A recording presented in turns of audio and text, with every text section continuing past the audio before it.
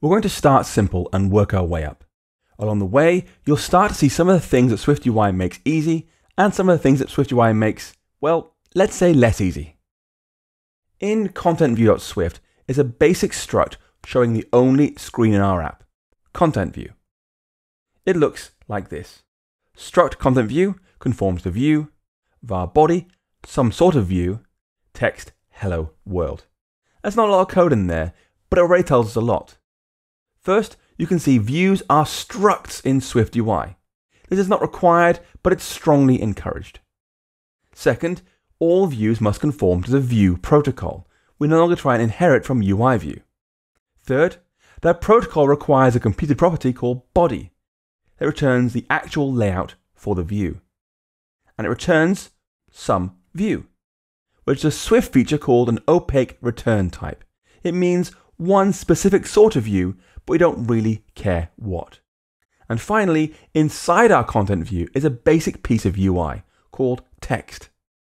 This is used to represent text strings in Swift UI, either directly as labels or indirectly as text inside navigation bars, buttons, and more.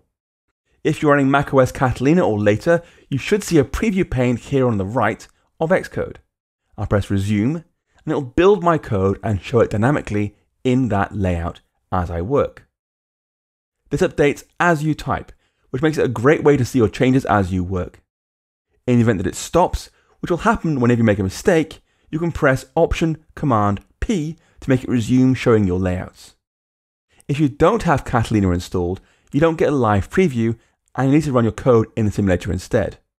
Now this basic content view created for us by Xcode is a single text view saying hello world. In our app, this will actually show us a list of items from a menu. So we're going to use a list view instead.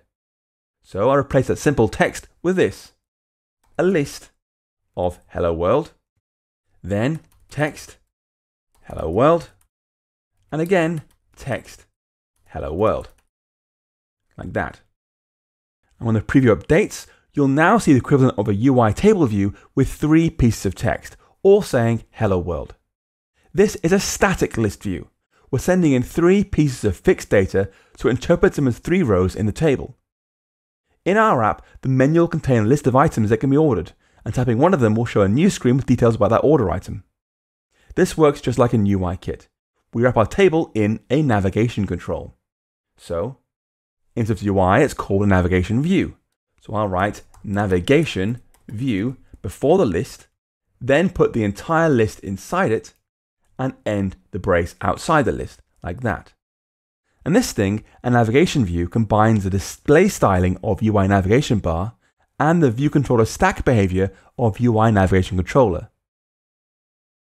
So now we can see a large space above our list, which is where the navigation bar is. However, it's empty because we haven't given it a title yet. To fix this, we need to learn something important about Swift UI called modifiers. These look like regular Swift methods, but they're more complex because they actually change what they apply to. In simple terms, if you have some text and apply the foreground color modifier, you don't just get back some text that happens to have some color, you actually get back a different type. In this case, we want to apply a navigation bar title modifier to our list view, which accepts some sort of text as shown in the navigation bar. So we'd write this list dot navigation bar title menu, like that. And you see immediately, menu appears above our table in the preview pane. Now, yes, this modifier is attached to the list rather than to the navigation view. It's modifying the list right here and not down here. Think of how it's at the title of a UI view controller rather than try to at a title of a UI navigation controller. Now, if you try running the app, you'll see it works exactly as we would expect. Let's build and run now. So there's our title, our three rows. I can drag around. As I scroll, it'll shrink at the top and say menu like that, and back again, exactly as you'd expect. One of the great things that SwiftUI does is give us modern system behavior by default, so we get these large navigation bar titles as standard. Now, static text works fine when you have fixed table cells, but in our case, we have lots of menu items to load across a number of sections breakfast, mains, dessert, and drinks. What we really want to do is load our menu data from JSON, then use that for our list items. And that's actually not too hard to accomplish. First, we need to load our data. The helper.swift file you already imported contains code for loading codable JSON from the app bundle, which is perfect for loading our menu.json file. So I'm going to add a property to content view. Let menu equals bundle.main.decode an array of menu section.self from the file called menu.json, like that. Next, we need to make our list go over the sections in our menu. This is done by using a for each block, which loops over items in an array and repeats whatever's inside.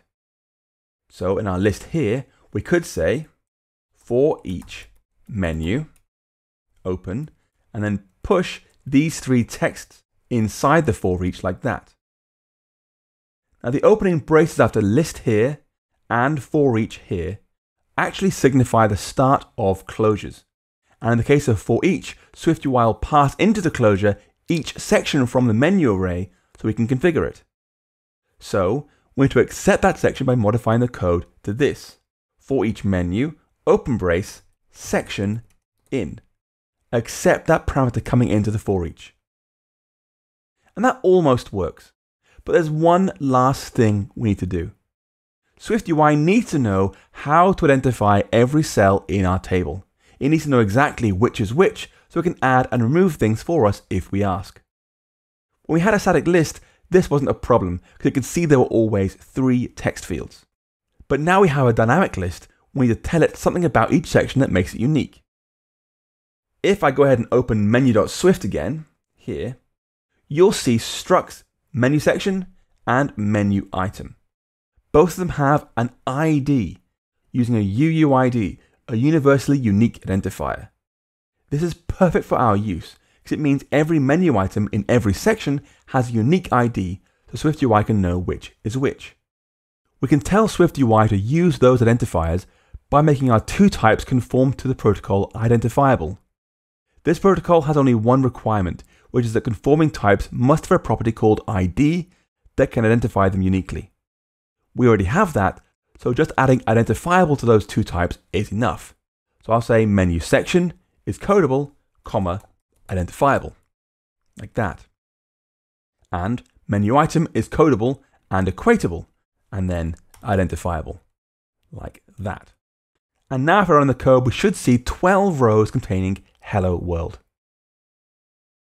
Boom, like that. And that might not be what you expected.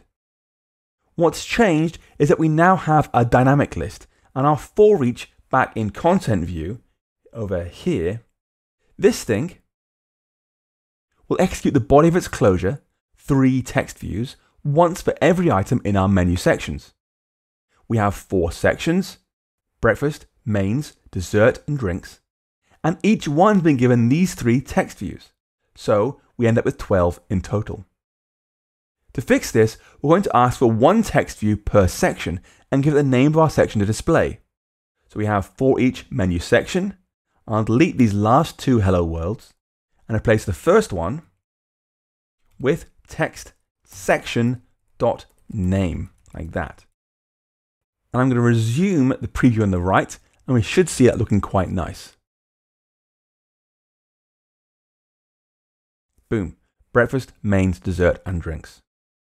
Now let's add the items inside each section. This is another for each inside the section for each. So we have a list, our for each menu for their sections, then our section name, and below that, I'm going to add for each section dot items. Let's hide that left hand bar, make some more space. There we go. Item in this time, text, item dot name. Show the items alongside the section names. And now you can see breakfast, maple French toast, stack of pancakes, muesli, and so forth, then mains, penne carbonara. So you'll now see lots of table rows, with some containing section names and some containing menu item names. While this works, it's not ideal. It doesn't create any sort of visual structure in our table, so we're going to break it up.